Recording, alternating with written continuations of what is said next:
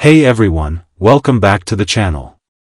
Want to run your favorite apps right on your Mac?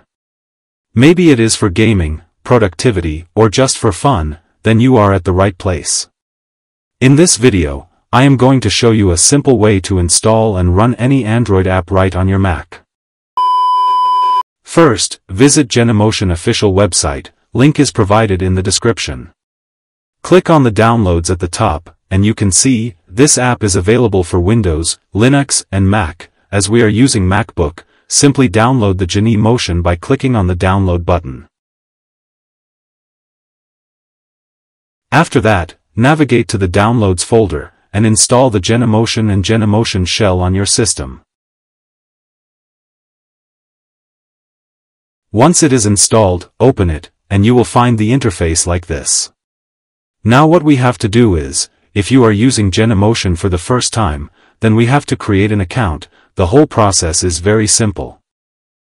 Once create an account, now we have to log in with Genymotion.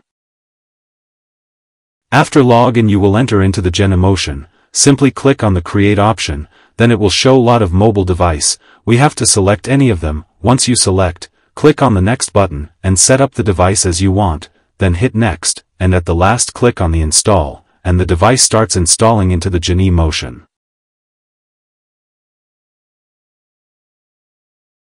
Once your device is installed into the Genymotion, simply click on the play button, and it will starts loading.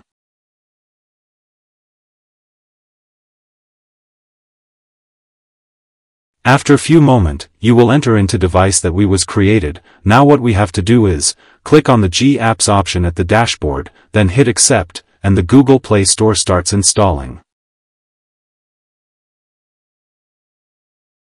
Once Google Play Store is installed, the Genymotion app will close, simply open the Genymotion again, and here you will find the installed Google Play Store.